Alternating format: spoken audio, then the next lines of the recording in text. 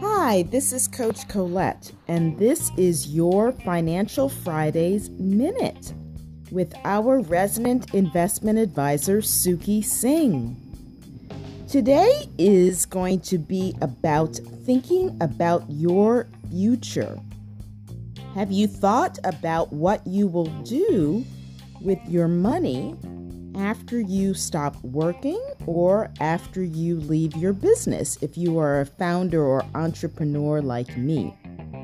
Have you started to create opportunities to put away your nest egg so that you will land in a soft cushion? There are some tips that Suki will share in today's Financial Fridays Minute to get you to start thinking about your retirement.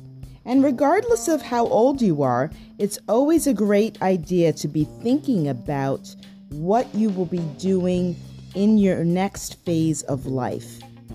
It's a great opportunity to plan ahead and reflect, and then think about how you can financially support the goals and dreams that you have for yourself.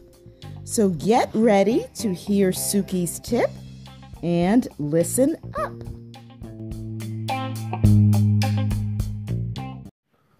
Hello, everyone. This is Suki Singh, aka InvestSingh of the InvestSingh Podcast, with your weekly Financial Friday tip.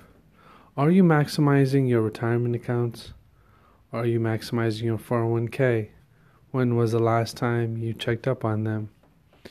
If you don't have an IRA account or a retirement account, I definitely suggest you create one either through Vanguard or TD Ameritrade and make sure that you're maximizing the contributions. Right now in 2019, the maximum contributions are $5,000 for your IRA account. Be sure that you're contributing to it. Have a great weekend. I will speak to you all soon. Take care. Bye bye.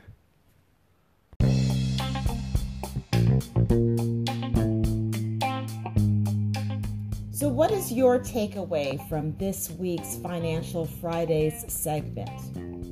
What might you do differently around your money and your mindset? Tune in next Friday for another tip, idea, or suggestion for Financial Fridays. Also, I am sharing tips on Suki's podcast, InvestSingh, which is I N V E S T S I N G H, also on Anchor.